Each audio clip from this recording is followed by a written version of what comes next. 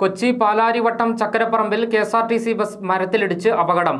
Bus driver മരിച്ചു ഇരുപത്തിയാറ് പേർക്ക് പരിക്കേറ്റു. പരിക്കേറ്റവരിൽ ഒരാളുടെ നില ഇപ്പോൾ ഗുരുതരമാണ്. തിരുവനന്തപുരം സ്വദേശി അരുൺ സുകുമാർ നാൽപ്പത്തിയഞ്ചാണ് മരിച്ചത്. അപകടത്തിൽപ്പെട്ടവരെ രണ്ട് സ്വകാര്യ ആശുപത്രികളിലായി പ്രവേശിപ്പിച്ചിരിക്കുകയാണ്. തിരുവനന്തപുരത്ത് നിന്ന് കോഴിക്കോട്ടേക്ക് പോവുകയായിരുന്ന സൂപ്പർ ഡീലക്സ് ബസ്സാണ് അപകടത്തിൽപ്പെട്ടത്. പുലർച്ചെ നാലരയോടെയായിരുന്നു അപകടം സംഭവിച്ചത്.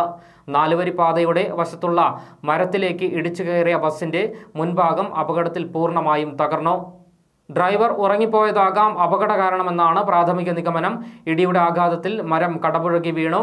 മരം മുറിച്ചു മാറ്റിയാണ് ഗതാഗതം പുനഃസ്ഥാപിച്ചത്.